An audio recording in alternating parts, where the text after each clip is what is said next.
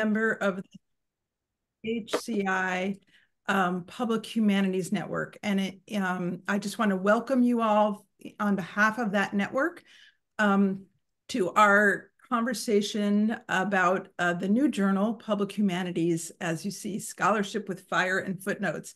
And um, we're really delighted to welcome the editors of this journal um, to speak with us about the journal, what they're expecting to uh, come from it and to do with it, and um, and also to entertain your questions about this journal. So I'll just very quickly introduce those editors uh, and then turn it over to them to talk to us. Um, Jeffrey Wilson is a Shakespeare scholar at Harvard University. He's the author of three books, Richard III's Bodies from Medieval England to Modernity, um, Shakespeare and Game of Thrones, and Shakespeare and Trump. Uh, that one sounds fascinating. Um, and our second speaker is Zoe Hope Bulaitis, who's an assistant professor of liberal arts and natural sciences at the University of Birmingham, Birmingham, England. She's motivated by better articulating the value of the humanities in the 21st century in public life. Um, and then I, without further ado, I'm going to turn it over to Jeff and Zoe. Wonderful. Thank you so much, Jessica. And thank you, everyone, for coming and letting us share the exciting news about public humanities with you all. It's been, um, as I was saying in the chat before we started, a little while in the making. So we're going to today talk and share that story. Um, but before we start, I just want to give a massive thanks to the people who've made it possible to be here um, at this stage. Um, really, thanks to the staff supporting us at Cambridge University Press. That's uh, Georgia, Jess, Kerry, Hannah, Kin, and Sally for their support in getting this off the ground in a kind of publishing terms. Um, so yeah, hello. Um, Jeff's also here, and um, I'm going to hand over straight away to him. We're going to tag team this and talk for about 15 minutes, um, and then we'd really like to open up for conversations, questions, and um, to hear what you have to say or think or engage with around the things we raise. So um, without further ado, I'll hand it over to Jeff. Yeah, thanks thanks to Dave for helping organize logistics and Jessica for hosting, Aaron for helping us connect. Hello to some of our advisory board members out there. Thank you for your work on the journal. Uh, so today we'll be talking a little bit about mission, values, and rationale for the journal. We'll tell a little bit of our launch story about building the journal. We'll cover the issues that we're planning to launch in year one, which is extremely exciting. Uh, we'll talk a little bit about how to get involved and a little bit of the future visions for the journal. So the mission of Public Humanities is to create a venue for sharing knowledge about the intersections of humanities scholarship and public life. And we go back to this mission statement often in our meetings, as well as the values that we'll talk about momentarily to help us kind of center ourselves, to help us set goals, help us make decisions, and help keep ourselves accountable and to keep the press accountable to the reasons that we got into this in the first place. Absolutely. So, in terms of um, some of those values, we first of all um, would would stand for truth, which is, as we interpret it, the greatest good um, at public humanities is an accurate representation um, and responsible interpretation of reality. Justice, which is fighting for the ethical use of power on all levels by individuals, organizations, and governments education, sharing knowledge being a centrally important thing to what we're actually doing here, especially backward and forward across um, academic and public boundaries. Accessibility, prioritizing accessibility in a variety of forms, be that in terms of open access to knowledge, accessible writing styles, but also in terms of accessibility to people with disabilities. And inclusivity, the way we feel the success of public humanities should be measured is about the diversity of people and perspectives that appear in the journal and feel seen in the journal. We also value cross-disciplinarity, holding that complex human problems require multiple angles of humanistic interpretation across the disciplines. Internationality, we want to represent the fullness of humanity around the world by inviting readers, topics, and authors from all nations equally. We value expertise, so promoting the value of bridging specialized training and knowledge, bringing that to bear on emergent issues of public concern. Collaboration. So we hold that truth, justice, and education, those three core values, are higher quality when they are co-created by multiple people in conversation and engagement. So we support scholars who transcend traditional academic spaces to engage with society in active and new ways. So if that's what we're setting out to do, I think that a sense that we also wanted to get across was around why we wanted to do this. There are great, great kind of global challenges and, and a need at the moment and ever as ever for humanity's knowledge to be freely available in public life. We think this connects and speaks to many areas of public life, including education, health, law, and justice, civil rights, care, conflict, democracy, and the environment. And so, what we wanted to do was to build a meeting place where a diverse set of disciplines, professions, perspectives, and people would come together beyond the closed off circles that are sometimes facilitated by academic paywalls in publishing uh, or otherwise clubs and cliques. So, public humanities is really about um, breaking down those boundaries and sharing knowledge across those borders. We also really wanted to found a journal that created a space for consolidation for the field of public humanities research and work, which you know is is a way which young young scholars and scholars further along their careers might find a way to survive within and and, and as a reaction against cuts to the humanities so there were these two strands one really about the global and societal need for this work and another for providing a space for researchers to to articulate that work for themselves so I come from the world of Shakespeare studies, where there's this tension between historicism and presentism. So historicism, studying the way things were versus how Shakespeare surfaces today in society. So I wrote an article called Historicizing Presentism for MLA's profession issues on public humanities. Uh, the end of that article is just kind of a, a little bit brazenly just argued for the, a journal of public humanities would be a good thing for us as a scholarly community to have. I got contacted by Holly O'Neill at Cambridge University Press. Um, so we had coffee on my campus and, and we found out we shared a lot of values. We shared a little bit of a vision of what a journal of public humanities might be. But then months turned into years and the conversation kind of fizzled out. It, it was just too hard to see, practically speaking, how we'd be able to make this journal. So to kind of take a step back to where I started into this journey, um, my first interest and career was actually journalism, and I've always had an interest in how you communicate ideas with a with a wide public. Um, I actually was the editor of the student newspaper when I was an undergraduate, and very much enjoyed the the scoop on campus and so on. Um, I did eventually, after interning at some newspapers, realize that I appreciated longer form um, t- types of writing and found the satisfaction of uh, research uh, alluring, which kind of led me down the career that I, I now pursue in academia. Um, but I did keep my hand in publishing industry. You know, I worked as an um, editor, um, a books editor for the Journal of American Studies during my my graduate studies, and then more recently have been involved in the open access wonder house of, the Open Library of the Humanities, which is um, one of the leaders in humanities uh, open access publishing. And I was really proud to deputy edit C21, which is their contemporary literature journal. Um, so I think that really part of my work in the in coming into this project is about that debate around open access and bringing that into areas of scholarly communication. I'm also a scholar of value. So my first monograph is actually entitled Value in the Humanities, and I'm really interested in how knowledge intersects with the economy and economic forms. I was uh, contacted by by Holly through some work I was doing with Sarah Dillon, who is a professor of public humanities in the UK, and we were talking a lot at that time around humanities evidence and how you evidence value in the humanities, and we kind of connected with Holly on those grounds about some work we were doing there. So we met Jeff um, on Zoom, as we are today, in our in our natural environment, Jeff, um, and we got to talking about this and really pick up the momentum and and and and work up this idea with with new momentum, um, starting in uh, I think it was October 2021, we we formally started kind of getting this thing going again. Um, but we spoke a lot about national context for change, about widening that experience of public humanities scholarship beyond North American contexts. And um, for many meetings after the next two and a half years, we we kept that mission going.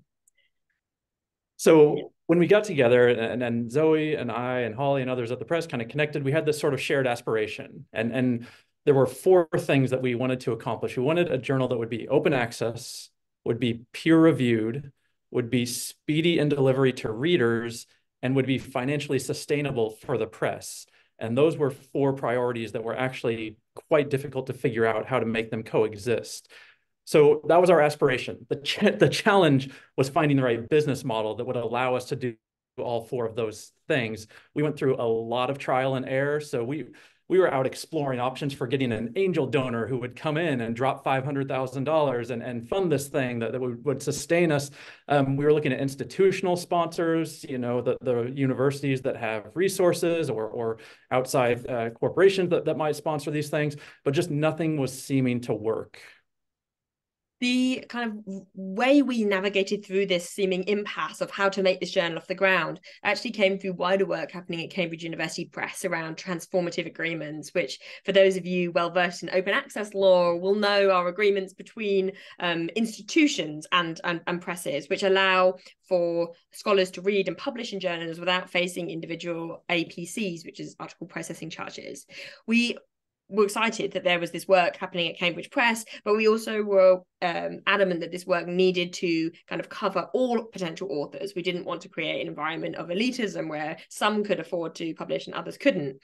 To get this model off the ground, we have designed and iterated the idea of a guest themed issue. So with this, there were a, a, a sort of several good things that that that were one financially sustainable in the sense that we can commission guest editors to help um put together these issues in ways that the press can can agree to fund kind of unilaterally. But also it really represented a challenge that we've been speaking about intellectually about the breadth and depth of humanities research. How is it that we offer content that is um, accessible and interesting to many publics, but yet also enables for uh, scholarly rigor for synthesis of complicated ideas of multiple voices, interests, and expertises. So it was really about getting that right balance in terms of the economic model, but also in terms of the actual content that the journal will produce. And I think that the idea of the themed issue as at least half of the work of the journal, and we'll talk about the other half in a minute, really helped us pull those things together. Um, we also really importantly wanted that model to be one that uh, reimburses those involved in the academic labor of putting together an issue and and made sure that there was some you know financial reimbursement for authors who stepped up to that task of uh, guest editing an issue.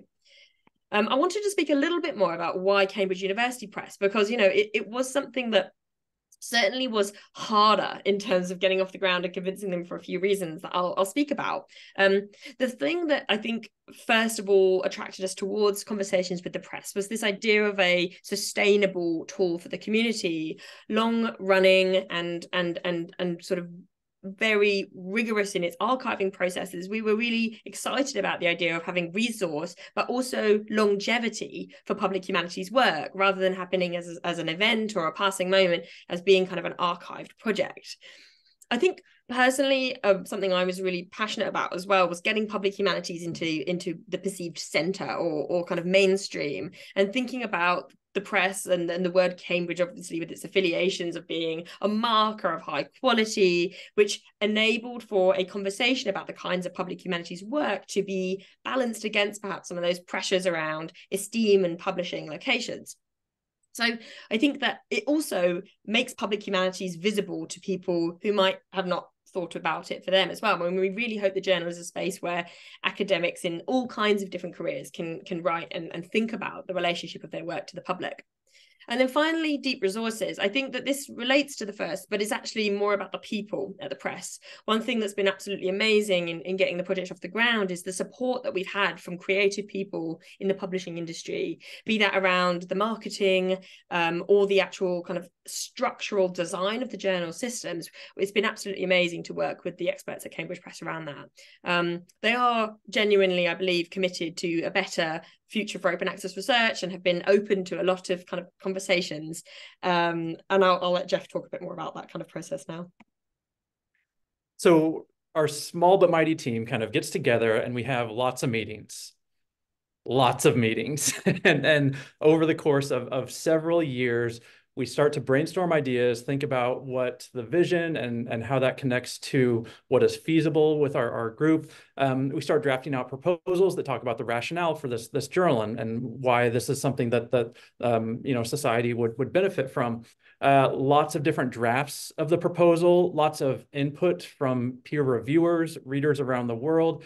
So it, it was a, a, collaborative process sort of uh, with multiple people from multiple different industries and figuring out how to scaffold and structure that conversation took a lot of time and and uh, we had to sort of build up a, a lot of trust So we get to a place where we're happy with the proposal and at Cambridge University Press, in order for something to get the, the official go-ahead to become a journal, it has to go before what's called the syndicate committee, which I love because it sounds like a like a mafia name. You know, it's going to go before the syndicate. Uh, so we go before the syndicate and we don't pass. And the syndicate says to us, um, we want to see who are the people who would be involved in this journal. We want to know that there's a community of support of interested readers and authors and editors out there. So that put to us the task of we need to go figure out how to build our community.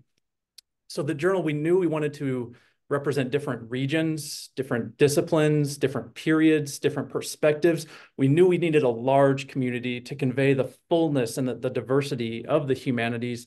And we settled on this structure of having editors and then having advisory board members. So the, the editors are kind of the more involved decision makers at the journal who have a little bit higher time commitment or are doing a little bit more of the nuts and bolts uh, work on the ground there the advisory board members are kind of enthusiastic community members with a little bit less time commitment, but are helping to kind of introduce, make connections between us and the really good readers and the really good writers out there who might want to be, uh, you know, associated with the journal.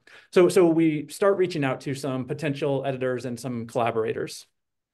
Um, and this is where it really started feeling a bit more fun, I think, Jeff. Um, we, we, we've been working and having, you know, review and feedback from people. But here we suddenly were able to bring in a, a, the plurality of voices that we really hoped that Journal would, would represent. Um, just briefly to introduce you, our current editorial collective who are working hard to um, help us support the themed issues at the moment. We've got um, Ananya Jahanara Kabir, who's at King's College. Uh, she's expert in interdisciplinary humanities work, making really interesting connections connections between um, textual and non-textual forms of cultural production, specifically around dance and music across the Atlantic and uh, Indian Ocean worlds.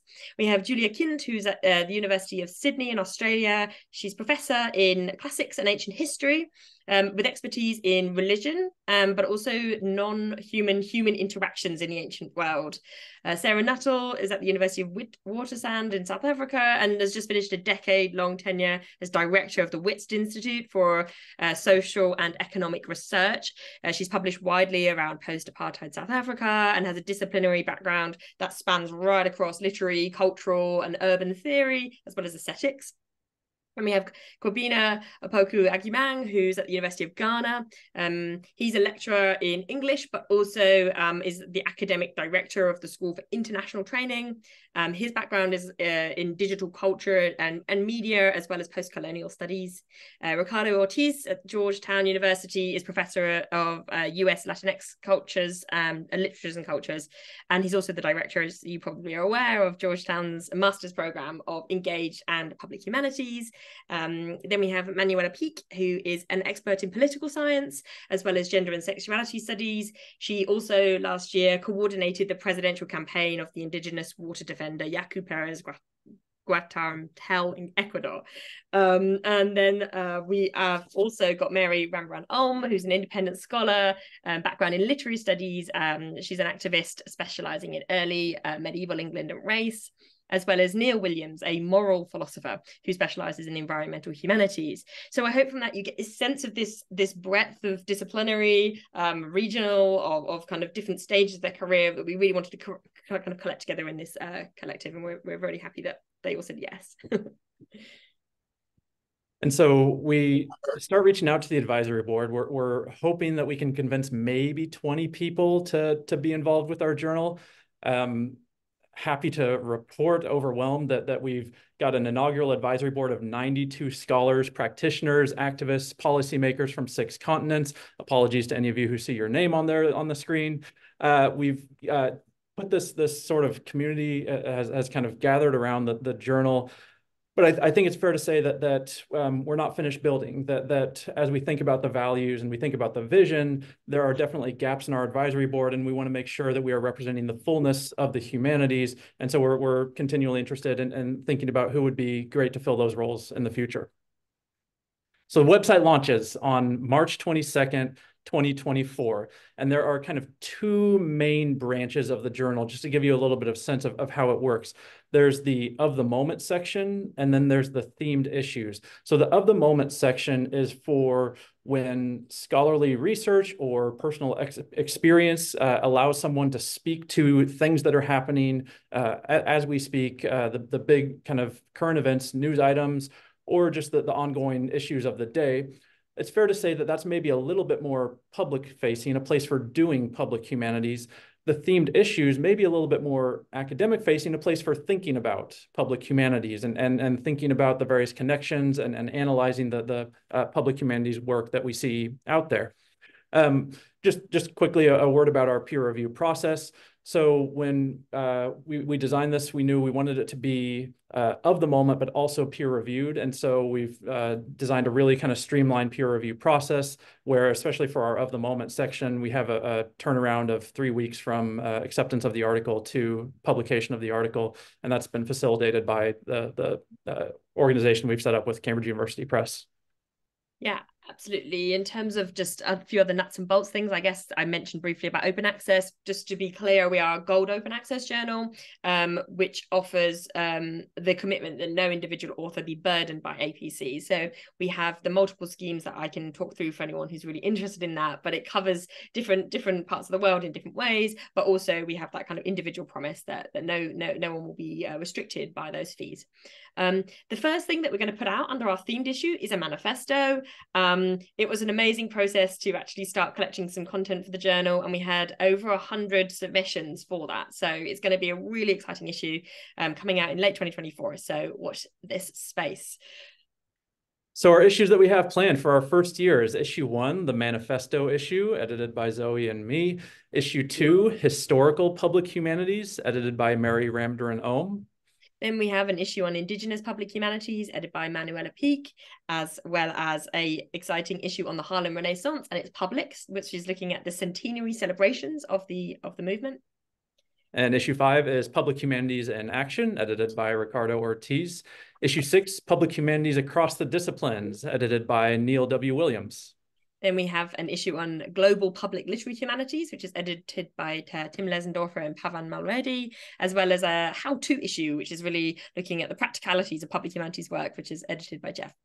Um, I think one story I wanted to end before we kind of get to get to the end of this presentation and hear more from you is some of the challenges that we've been facing because you know this is this is the prospect for what we're going to put together, but we have been while we've been launching, we've also been learning. And one of the really interesting things that's come up about the journal is the um, visual branding and, and and the important conversation about imagery.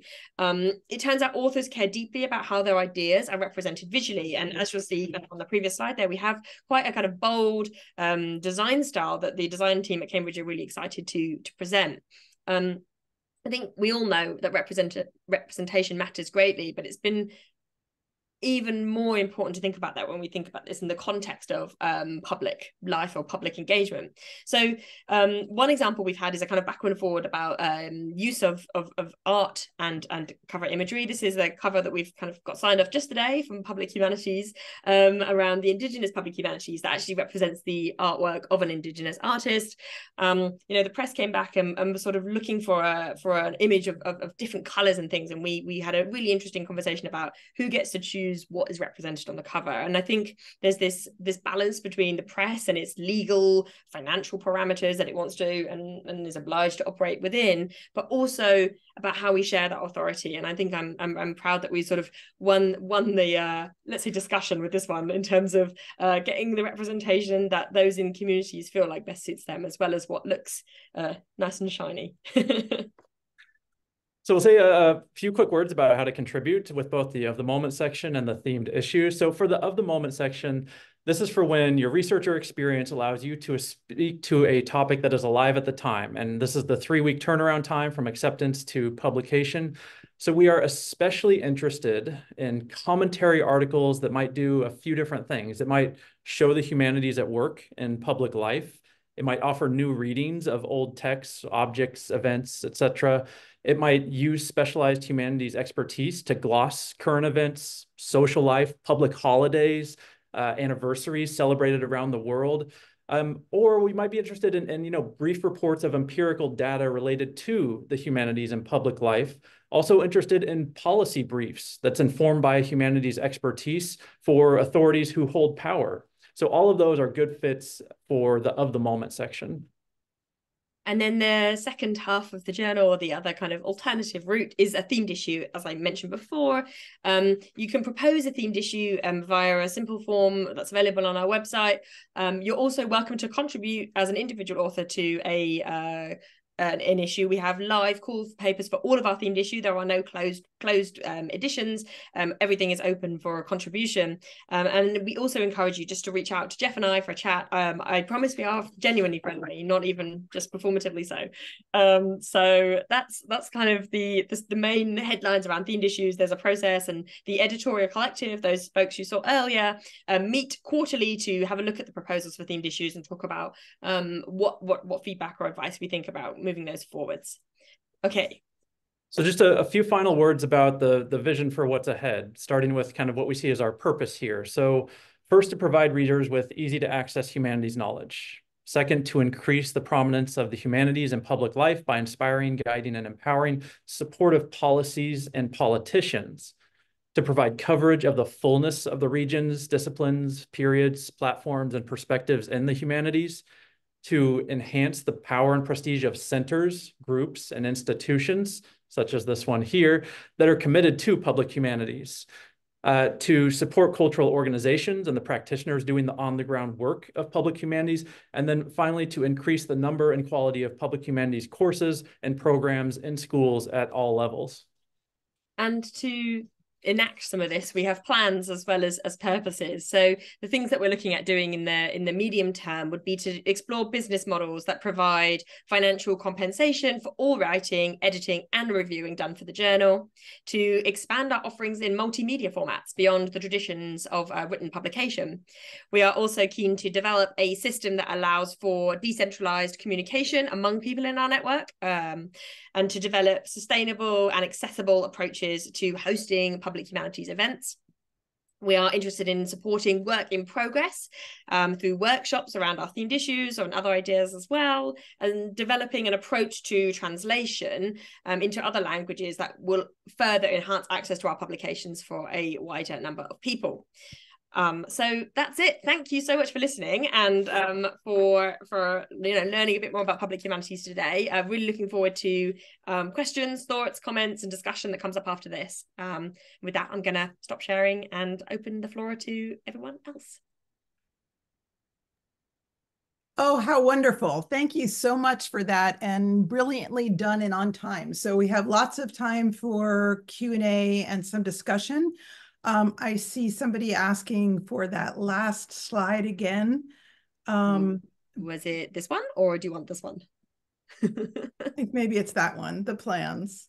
Hopefully. Um, and I and I love the one before. So so maybe actually um, some folks would like to know where they might be able to access uh, mm -hmm. this information, you know, in another form. Is, are there uh, some of these some of these principles and practices on your website for the journal or or how might people point to the, the this information? Yes it's uh, there's a lot of it's on the website. I mean jeff i'm i'm happy to share the slides if you are. I mean i don't know what you think about that. Yeah yeah absolutely. So and so yeah. some of the the things we talked about at the start mission and values are up on the website some of the things that we talked about toward the end are a little bit more information and, and they're part of uh, what we're calling a strategic plan that, that we're developing for the journal. And that is a very much, we have a sense of the goals that we're working toward. We are, the next step is to figure out what's the, the plan for getting to those goals. And then uh, equally importantly, how will we measure success of whether or not we have, have reached the goals to, to help us figure out how practically speaking we can actually you know, get to work on on uh, the, these big visions that we have. Great, thank you, and and thank you, Zoe, for posting the link to the website. Um, so I think we're a small enough group that uh, I'm hoping that I'm seeing everyone on my screen. Um, and uh, I think people can go ahead and raise their hands if they'd like to ask a question and just to make it explicit, I think we're very happy for it to be a discussion and not all conversation needs to run through Zoe and me. We're probably much, much more interested in learning from you and hearing what your thoughts are. Um, so, so feel free to just uh, kind of unmute and, and chime in, or feel free to, to have an active chat here and looking forward to some good conversation. Um, I might just take the prerogative and get us started, if that's all right with you. Um, I love so much of what you were talking about, about your um, principles and practices. And as you said, it's aspirational, it's a strategic plan. Um, and a lot of this echoes a lot of what I hear from uh, wonderful uh, public humanities practitioners on my campus that I've been privileged to work with. Um, the one thing that I didn't hear was talk about collaboration with community practitioners.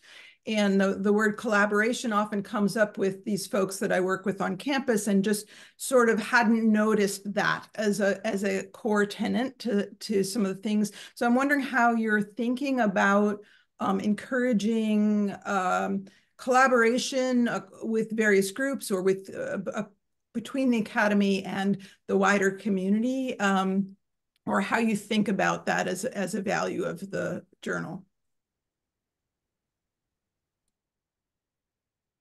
Great question. I think it's really important. Um, and, and my first response would be that we spent a lot of time thinking about the things that count as research in the journal and a conversation. You know, it is a academic journal for the public humanities you know it's it's it, we've chosen to make it a journal with cambridge press because it's it's it's designed to kind of intervene in that space but really we wanted to have research that people who maybe aren't paid to to do this work nine to five who aren't themselves researchers are able to kind of produce uh, or contribute as as equal authors to the journal. So there's a really long list of different article types that people can produce.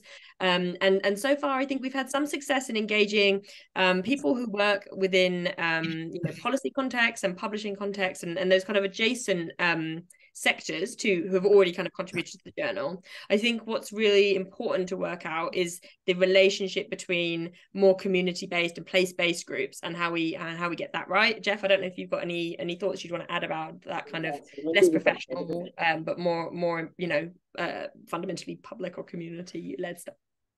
Yeah, I, I would uh, just add, I think it's really important for us to give folks examples of what that looks like very early in our publication uh, process. And, and so that's one thing is to sort of let people kind of see themselves in the journal that there are, you know, uh, community members, non-academics who are publishing in, in, this space and that they can see that that is, is happening. Um, and then the, the flip side of that is I think we will need to lean really hard on our advisory board to make those connections. And, and so we really encourage our advisory board to, to be active in sort of helping folks uh, get connected up with the journal. And then I guess the, the sort of flip side of that is, is um, I, I think it's probably fair to say that, that our advisory board is um, you know, heavily academic at the, at the moment. That's sort of where the worlds that we come from. That's the the uh, you know the the networks that we have as we are figuring out whose arms we could twist to to uh, work with us on the journal. And it will be very important for there to be more representation at the level of the advisory board and at the level of the editors for um, non-academics folks who are out uh, kind of in uh, you know community-based work doing those sorts of things so that, that we can make sure that that we have that fully represented in the journal yeah. I think certainly we've got some plans around um, visual arts. We've done we've had quite a lot of interest and engagement with that um, around the Harlem Renaissance issue, which is also drawing on work happening kind of in art galleries and museums as well. So that's been a really good kind of um, working model that we've we found some um, more direct routes, I guess, to community mm-hmm. organisations. Um, but I think another important issue is around remuneration for work. You know, I think is there's a privilege to be had for people um, being paid to produce research and it be valued, and so we have to think carefully about what we ask of people who who are, are or aren't being valued. But yeah, that's, that's... absolutely Zoe. I, I I I'm on board with that. Yeah, thank you so much for the that. I see a question from Mary Chapman. Yeah, hi. Thanks. Um, I'm Mary Chapman. I'm I was the founding director of the Public Humanities Hub at the University of British Columbia for the past four years. I my term ended eight months ago. Um, so I just love all of this and I'm so excited you guys are doing it. I had a few questions though.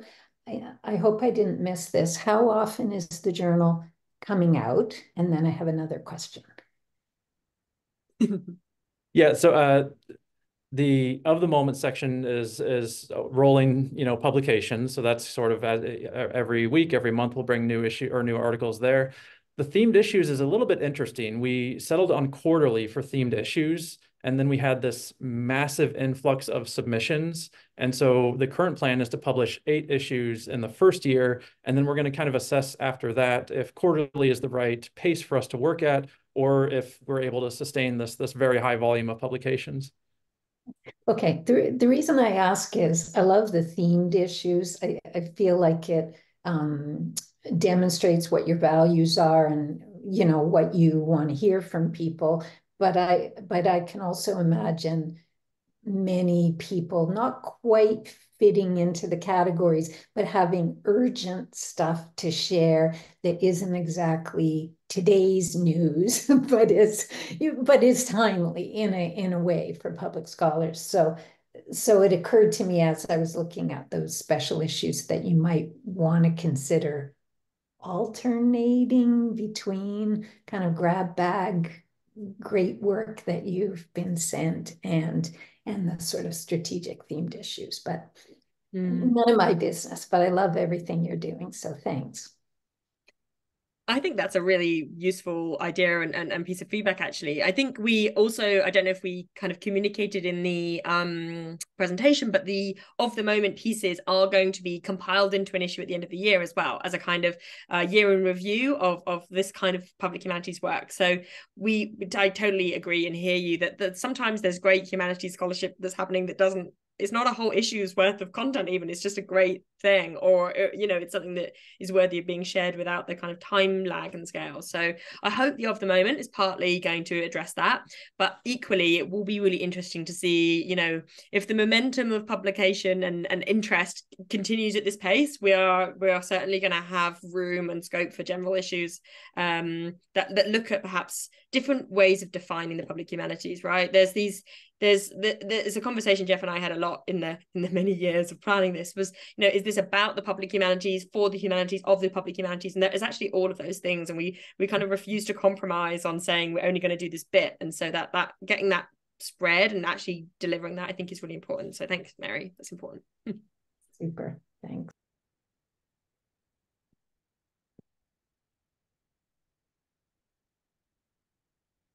Other questions, comments, suggestions? I have my hand up, but maybe you can't see it. Oh, I'm sorry. Yes. Yeah, no worries. a beautiful background and it oh, gets lost. yeah. So um thank you so much for that presentation. It was so interesting. Um, and I think this might have been touched on already, but my question is so so I'm Ulka Anjaria and I'm um, a professor of English and I direct the Mandel Center for the Humanities at Brandeis. Um, and so one of the things, well, one of the things we a couple of the things we've been working on at the Humanities Center. Um, two things. One is, um, well, one as an English department person, I have worked with my department to kind of um, rethink the PhD to um, encourage more people to do kind of public humanities work and to think about different careers people might go to than the professorate.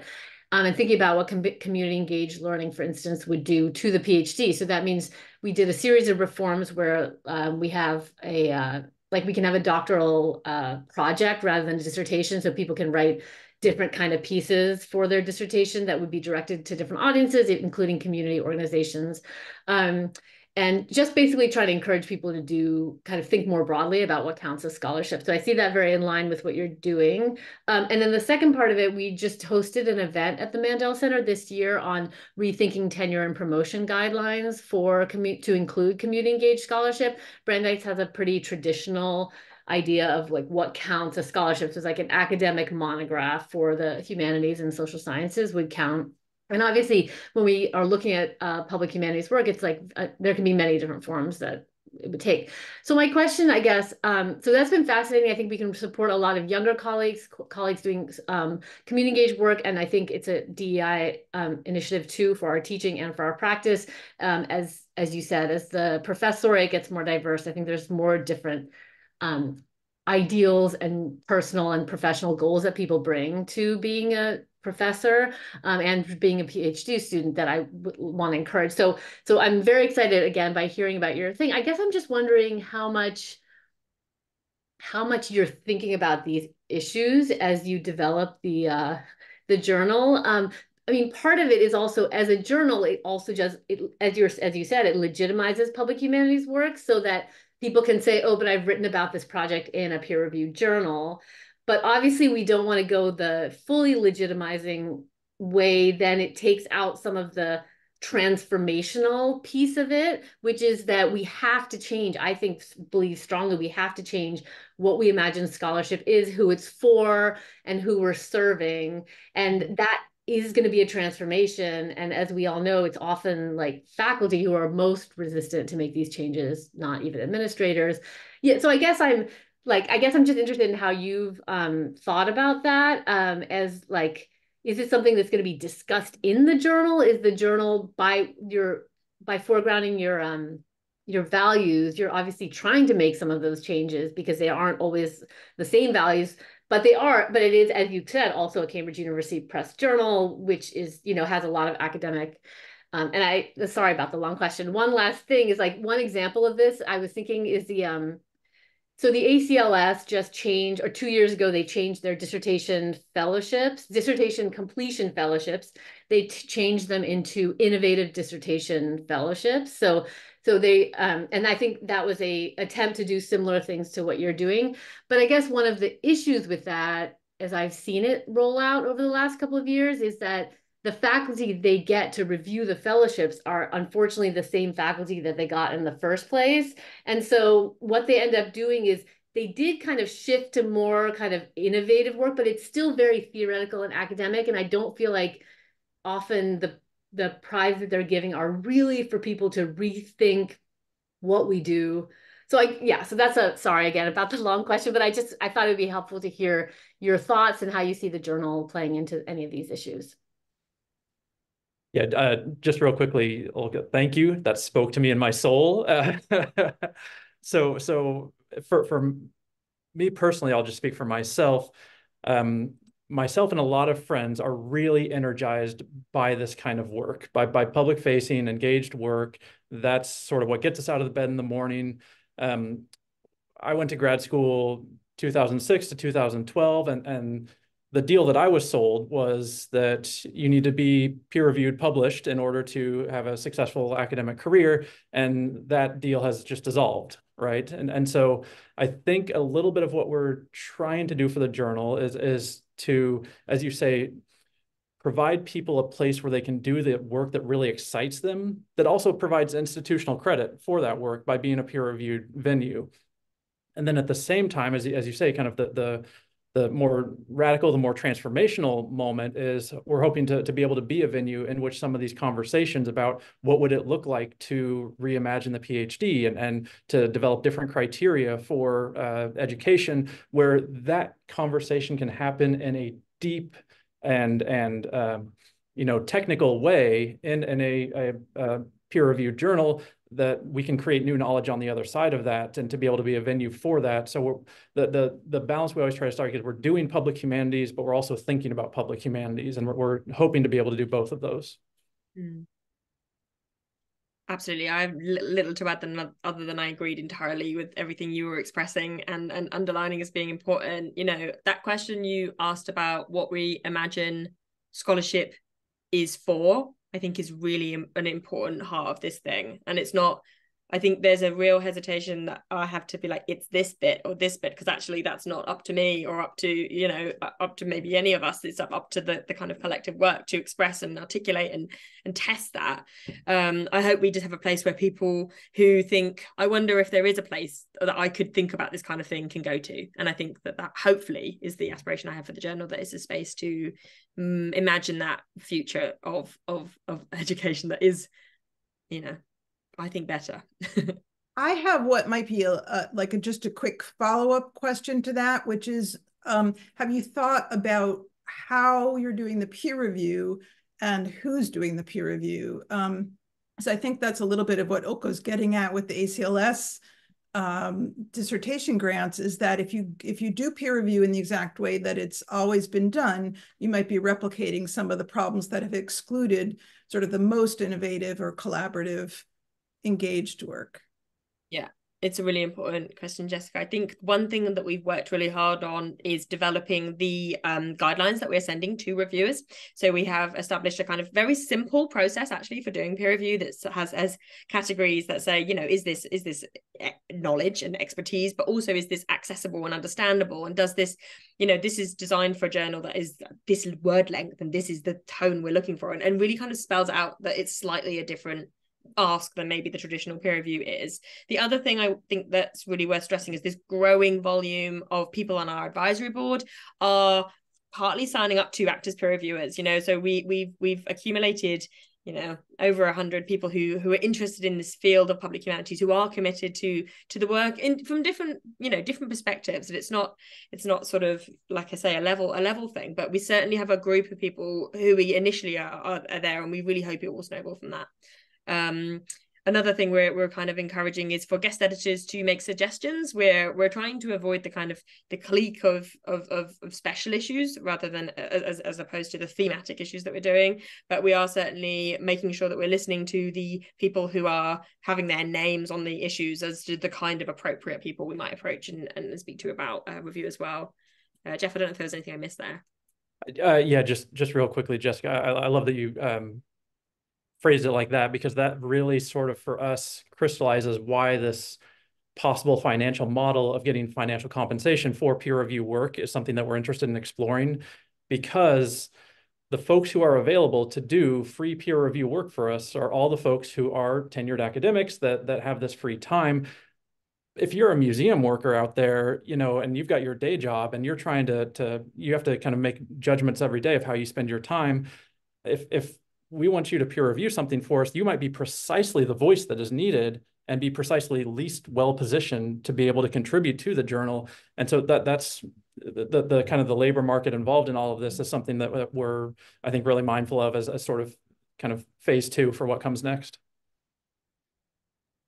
And and I, I suppose maybe um, on that token, we, I, I, wonder if we might like turn the tables a little bit and just sort of say like this is a community of folks who have done the hard work of building things in public humanities. Like I would love to hear what what are we going to come up against that we're not expecting? What what are the unexpected challenges? What are the surprises that we might face in year one, year two? Um, you know, ha happy for this to turn into a therapy session, um, but would would love to hear some wisdom. Go for it, Oh, hi, Jessica. Um, I'm Teresa Mangum at the University of Iowa, and um, this is not so much a challenge as as a question. And forgive me if you talked about it and it went over my head. But one of the things I find really fascinating about public work is how often the conventional textual account is just isn't quite adequate to the kind of activity and, and variety of forms that publicly engaged practice takes. And I know y'all have been thinking about this already, but I wonder what Cambridge, um, what affordances Cambridge will have to let you include video, online exhibition, other forms as well as print. Yeah, it's, it's such an important question. Thank you. And and I think the biggest affordance is is that they're open to it, and and so that's very exciting right now. Um, once we start talking practical nuts and bolts, um, these uh, at least um, are, aren't for the press kind of developed forms of what would it look like to do a peer-reviewed video submission, and and knowing that that's precisely the sort of work that is going to most be able to connect with folks is, is something that's very important for us. Um, so there, there will be a lot of sort of developing what are the criteria, what are the protocols, what, what are the, the considerations that need to be brought into it. Um, and, and I think a lot, a lot of folks are excited about that yeah in terms of the media platforms that we've kind of discussed um, video essays um, are certainly one that that seems to kind of come up quite a lot. Um, we've also discussed the idea of producing a podcast down the line and having a podcast series that's available um, associated with the journal. Um, and another idea which i briefly touched on at the end of the presentation about this work in progress stuff we're hoping that one of the one of the affordances of the press is that it has um, access to pretty nice video hosting like web interactive seminar video platforms where people around the world can collaborate and and, and kind of produce um, a virtual seminar which is a little bit more participatory than than Zoom. It's not, I mean, it's not amazing still, but it's okay. It's it's it's quite good. But we can have that as a kind of recorded um archive as well. We're, we're considering that, and uh, the marketing team are keen to have that as, on a YouTube channel that's publicly available as well. So there's some starting conversations. I think there's a long way to go um in terms of of kind of actioning this, but I think it's certainly up there on our list of like things that we are ready to go to bat for. So bring it on. I, I, think one of the real challenges there is, is kind of the, the cross industry or cross specialization things that if, if you're going to do a video that's hosted by Cambridge University Press, that's going to have to go through legal, that's going to have to go through accessibility checks, that's going to have to go through all of these different parameters that, that, that speaking for myself, I wasn't taught how to do in grad school. And so we're sort of thinking about like, how can we be the bridge that helps scholars who want to do that sort of work actually get to a place where it's technically viable and and um, able to be pulled off. Like uh, Mary, we can go to you. Yeah, thanks. I had another question as as Teresa was asking about affordances because I I, I feel like we might be talking about a, two different kinds of objects that would be submitted to the to the journal. So so one would be like in the thinking about, you know, the second kind of um, contribution, that sounds like a meta thing, a kind of consideration of, a theorization of, a description of perhaps a, pro a public humanities project that has already been built or created or shared. But, but I think Teresa's question might have also been imagining what if the public humanities object that has been created is a video? It already happened. It doesn't necessarily need to be peer approved by your journal to, to be valuable, a, pub, um, a digital uh, project, something like that. So uh, I wonder, that's more of a showcase model than a scholarly article about public humanities. I'm just wondering if there's space for both or if you're imagining both kinds of deliverables. Yeah, I, I, mean, I could imagine a world, this would be amazing, right? Where we all have events that are going on on our campuses or in our workplaces or wherever we're at. And a lot of times those are recorded. And, and sometimes those are really, really high quality and they deserve a bigger audience than what we were able to get that day, where someone sends a, a, a video or a recording of that session to the journal. And, and we basically we just help with the distribution. We help it get to a wider audience and we help market it in, in these really fascinating ways. Um, so that that's very early in the process but that's exciting to me. Yeah. I think that the the the project that we're doing intersects with networks that are already in existence right? And and that we're not trying to kind of um detract or, or, or kind of disrupt things that are already working well. But we do think that there's a place for i guess a recorded hub right of things of resources of of, of thinking of doing that, that, that people can come to and i hope that that's that's it. So i think that that sounds right mary what you're saying. Um we we are hoping to uh, be able to embed um content like images and videos as well in the articles. It's all online only as well um so that does help in terms of um replicability. The one challenge we've come up against using um uh, videos so far is about the kind of the the promise that Cambridge makes that this knowledge is available like forever. Um, and how how you kind of promise or commit to that it's an interesting question um, but one that we're going to continue uh, pressing on with because you know it's it's uh, going to be necessary well, I think we're just about out of time, and I know Jeff has to head to something else at three, so I'm going to wrap us up. But I I think this is just such exciting work, and and I think all of us uh, will join me in congratulating you on it, and um, hoping to see wonderful things in the future as it grows. Yeah, thank you so much. And and I think for Zoe and me, kind of the inspiration behind the journal and the inspiration behind the consortium is the exact same, which is that there are so many people out there who are like-minded, who are thinking in these ways. And there needs to be a sort of a rendezvous, a place for people to get together and, and compare notes. And so I, I think uh, really similar spirits here. So thank you.